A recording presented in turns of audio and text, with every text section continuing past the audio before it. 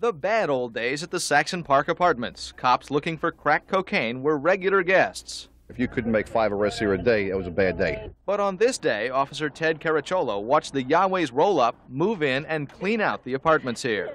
And the Yahwehs say when they're done fixing the place up, it won't just house Yahwehs, but they won't just rent to anyone either.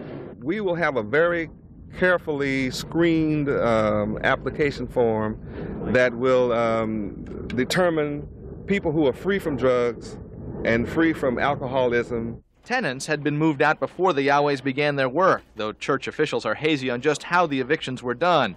But they clearly wanted to avoid scenes like this last fall when the Yahwehs bought and then surrounded a drug ridden Opa-locka complex. Residents jeered and complained of intimidation. Two of the loudest complainers were found shot dead the next morning. A Yahweh member, since cut off from the church, was charged with the killings. But Yahwehs who used to be secretive now invite the media along to show off their good works. They offer before and after pictures of urban renewal Yahweh style. Wall to wall carpet, and if you would follow me into the master's bedroom. These units, just renovated by the Yahwehs, will be rented fully furnished for $500 a month.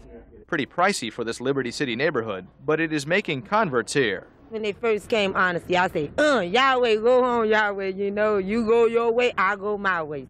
But now, I love them. Why not? Because they is. They're really fixing it up nice, right? And cops, usually suspicious of the Yahwehs, are happy to see the work at Saxon Park.